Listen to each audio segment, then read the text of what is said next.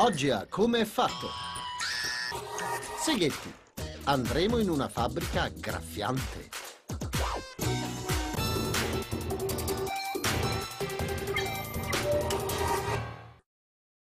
Ci sono tanti tipi di seghe, ciascuna con uno scopo specifico. Seghe per tagliare i pavimenti, seghe da traforo, seghe a mano e a nastro e infine seghetti. I seghetti sono principalmente usati per tagliare metalli o altri materiali duri, ma cosa li rende così all'avanguardia?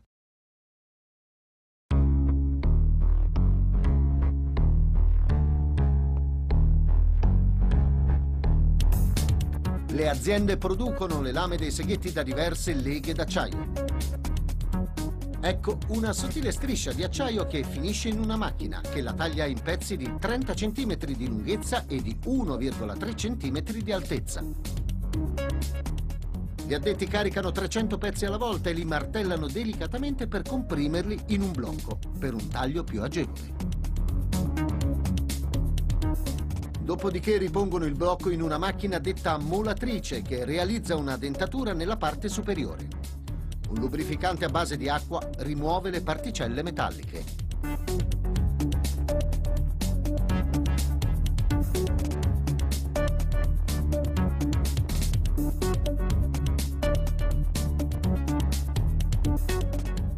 Questo modello di seghetto ha una lama con 24 denti ogni 2,5 cm. I residui metallici vengono rimossi con un comune pennello. Il Dipartimento del Controllo di Qualità ispeziona ogni lama e gli eventuali difetti.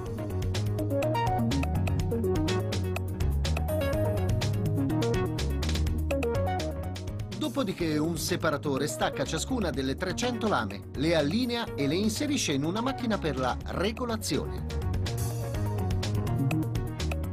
Questa piega i denti su ciascun lato realizzando un piccolo angolo. Il processo di compensazione consentirà alla lama di rimuovere tutte le particelle mentre lavora, evitando di incepparsi.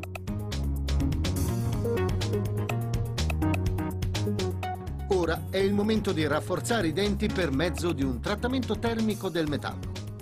Un ingranaggio a vite allinea le lame in una serpentina di riscaldamento.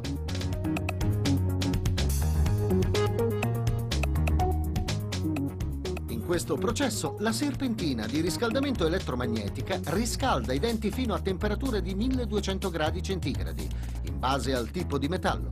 Occorrono non più di due secondi.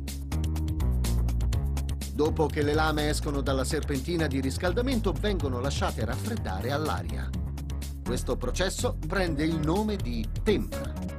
Le lame sono ora pronte per la stampa.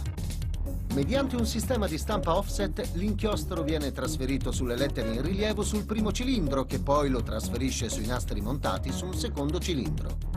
I nastri infine stampano il nome dell'azienda, la lunghezza della lama e il numero dei denti per centimetro sul lato di ciascuna lama. Ora una macchina inserisce le lame in gruppi di 5 in fessure che le fanno ruotare e le posizionano su un nastro trasportatore.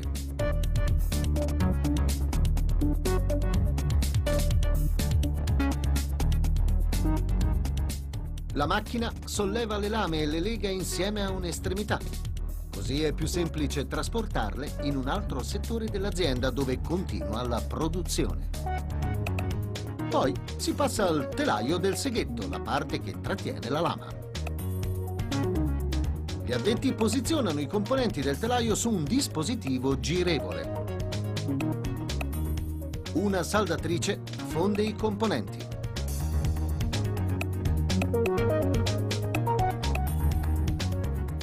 Quindi una pressa pratica tre fori nell'impugnatura per attaccare un rivestimento in polistirolo o plastica.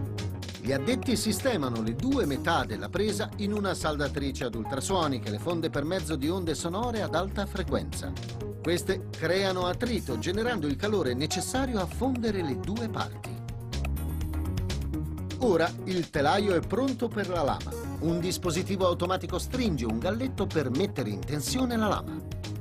Poi, delle lame scelte a caso vengono sottoposte a un controllo di qualità finale. Per farlo, le lame tagliano un blocco di acciaio inossidabile.